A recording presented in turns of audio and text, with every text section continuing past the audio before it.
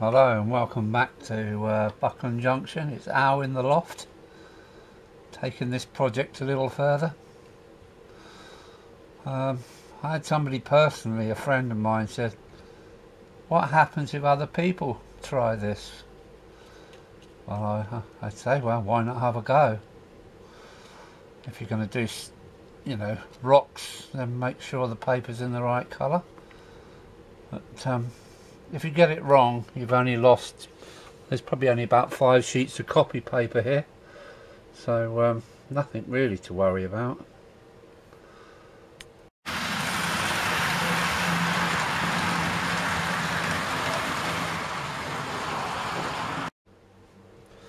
And if it doesn't work out you know two minutes with the Stanley blade and all this will be gone but this is the most vulnerable stage is it's only one piece of paper thick.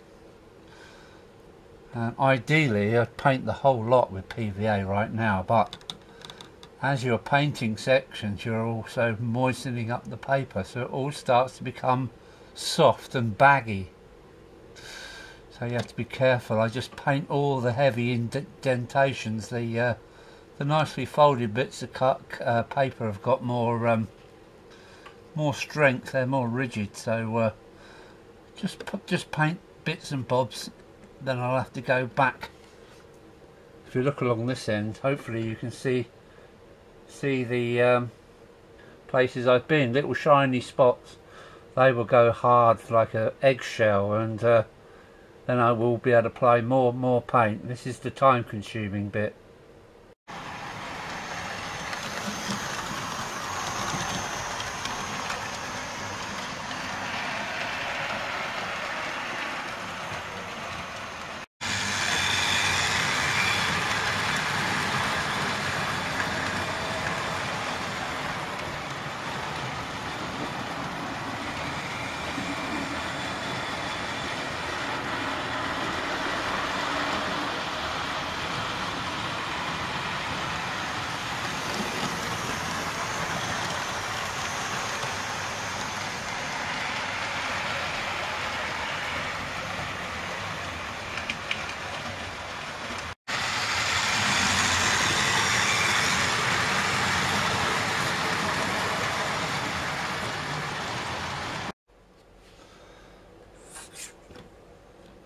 So the whole process starts again. Um, my favourite part about model railway is running the trains without a doubt. Um, I'm fitting the um, high frequency um, track cleaners at the moment so um, and I've got two inches of rail left, uh, two small sections about this long of the top line to do so uh, I think either next video we should have four four uh, um, rails running. For the first time the two top main lines.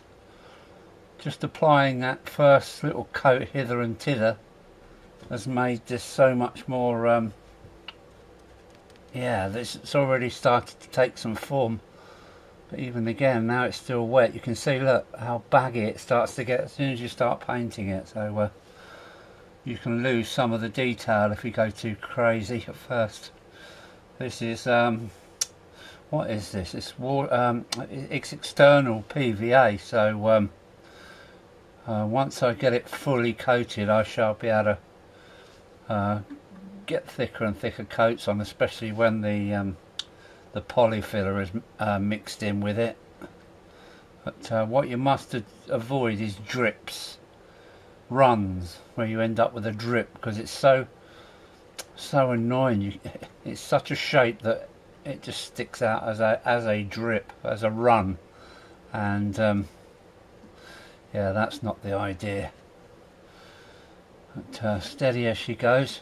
You can see I'm taking less care on this coat because it's uh, certain parts are already started to become rigid. So um, back in a little while when I've got something to report well as you can see uh, while the glue is drying. Um, I've also got a carriage off around the other side. The layout I've got to go and sort out but I'm putting in my um, high frequency um, track cleaners into the system. So uh, yeah everything is happening at the moment. Uh, so back in a minute with some more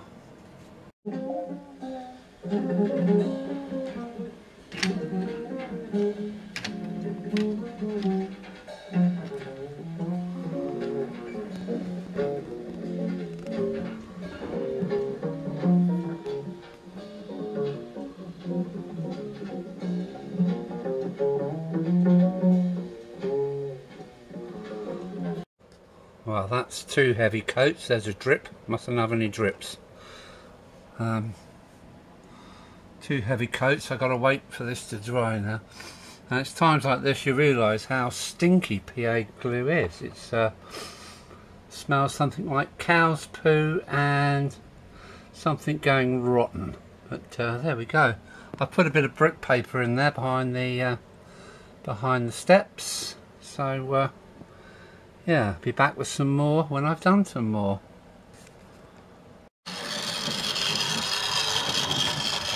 Oh, come on, girl, girl. Get going.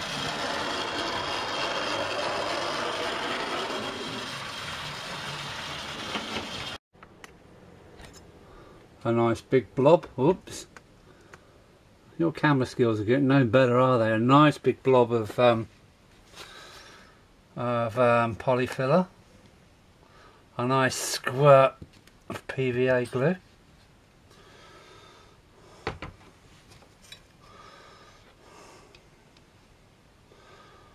And some water. Somewhere like that. I'll just mix this up and I'll be back. PVA, water and polyfiller. So let me do some work with this and I'll be back in a little while.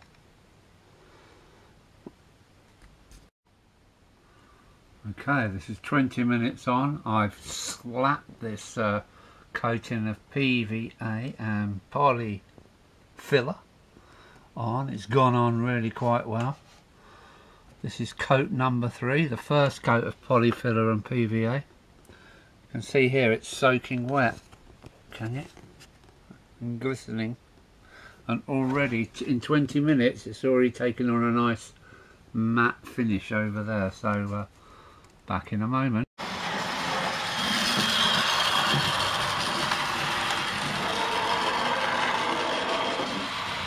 What's the old Hornby double O that was? This is a shout out to Matt, Mark, sorry Mark. Give peas a chance this is what I've uh, got mate. It's all Peco. Girder bridges about six. Plate bridges. Some station parts buffer stops all Peco. And I'm not sure what this is but uh, and there you go. You can stop the camera and have a look. So this is what I've got. Any good to you? I would more than willingly send it up to you mate if not it's going on eBay so that's Mark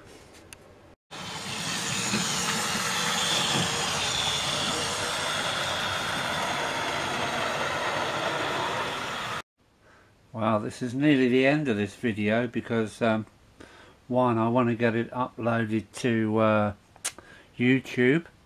Um, the soldering iron's just been plugged in. I'm going to continue putting my track cleaning in because I think my tracks really do need cleaning. So uh, hopefully this is going to do the uh, job and we'll have some really smooth running.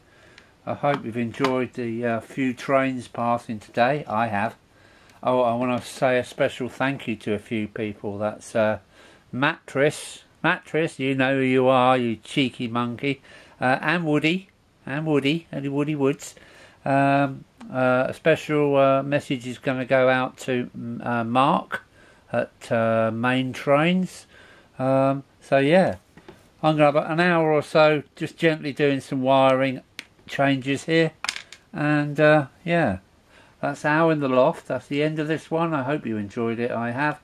See you again soon and hope this COVID nonsense ends soon because uh, yeah, I want to do the Friday meetings at the pub again. So uh, it's all to live for.